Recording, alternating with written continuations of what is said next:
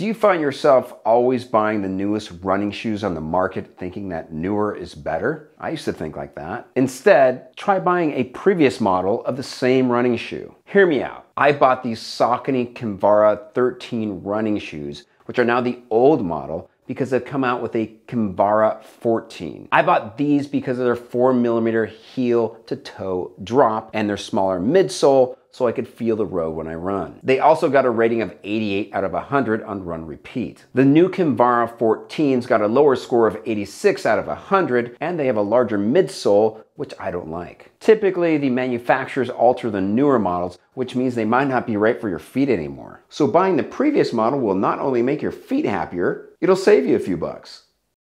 Maybe I'll buy another pair.